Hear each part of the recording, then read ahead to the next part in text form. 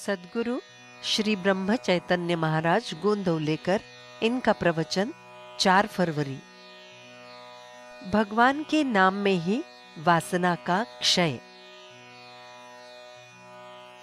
हम सब जीव वासना में उलझे हुए हैं, क्योंकि हमारा जन्म ही वासना से हुआ है। वासना का मतलब है, जो है, वो तो रहे ही और अधिकाधिक मिलता रहे। हम अभी ऐसी स्थिति में हैं। लेकिन प्रारंभ करना है, इसलिए हम ऐसा कहें कि जो है, वो तो रहे, और जो अधिक मांगना है, वो हम परमेश्वर से मांगे। इसका परिणाम ये होगा कि जो मिला है, वो परमेश्वर ने दिया है, और अगर नहीं मिला तो ईश्वर की इच्छा नहीं है, ऐसी समझ बढ़ती रहेगी। और दाता परमात्मा है ये भावना भी वृद्धिंगत होगी। जो है, वो भी उसकी इच्छा का फल है। ऐसी समझदारी बढ़कर आसक्ति और बेचैनी कम होगी। और आसक्ति कम होने लगेगी, तब मुझे ये चाहिए, मुझे वो चाहिए या ये नहीं चाहिए, ये सारे भाव घटते रहेंगे। वासनाओं का क्षय होता रहेगा। केवल अपने पुरुषार्थ से वासनाओं के परे जाना असंभव है।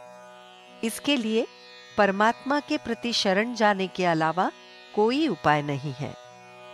योग्य संगति का भी इसके लिए उपयोग हो सकता है।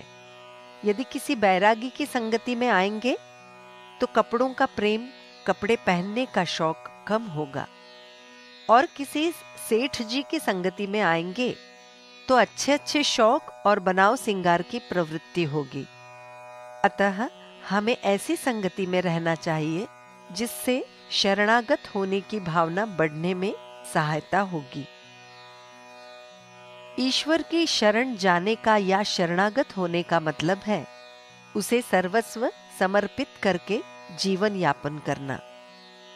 इसका अर्थ है कि हम उपाधि रहित बने। इसका तात्पर्य ये है कि हमें ऐसे ही साधनों को जुटाना चाहिए या ऐसे ही साधनों के साथ रहना चाहिए, जो उपाधि रहित हो।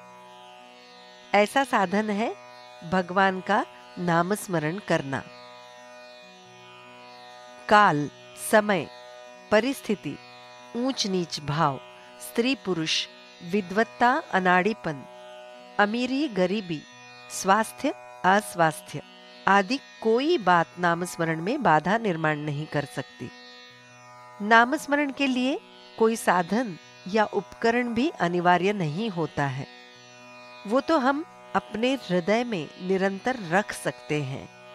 नामस्मरण में बैरागी के कष्ट नहीं हैं। वो तो हम कहीं भी, कभी भी साथ में ले जा सकते हैं।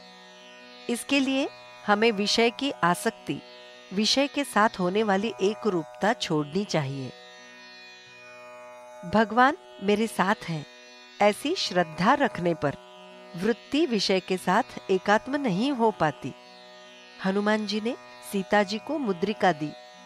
उसे देखने पर सीता जी को श्री रामचंद्र जी के स्वरूप का स्मरण हुआ। इसी प्रकार हमें भी नाम स्मरण करते समय ईश्वर का ही निरंतर स्मरण होना चाहिए। भगवान के अनुसंधान में जो बंधा हुआ रहता है, मानो उसने काल को पराजित कर दिया है। ऐसे लोगों के मन में मृत्यु का डर क्यों होगा? भगवान को सर्वस्व समर्पित करने के कारण उसके मन में वासना क्यों बची रहेगी? और जहाँ वासना बची नहीं है, वहाँ मृत्यु का प्रवेश नहीं हो पाता। वासना नष्ट होने का मतलब है देह बुद्धि नष्ट होना। वासनाओं के क्षय में अहम की मृत्यु है और अहम की मृत्यु देखने के लिए हमें भगवान का नामस्मरण निरंतर करना चाहिए। ये पूर्णतया सत्य है कि वासनाओं का क्षय भगवान के नाम स्मरण में ही है।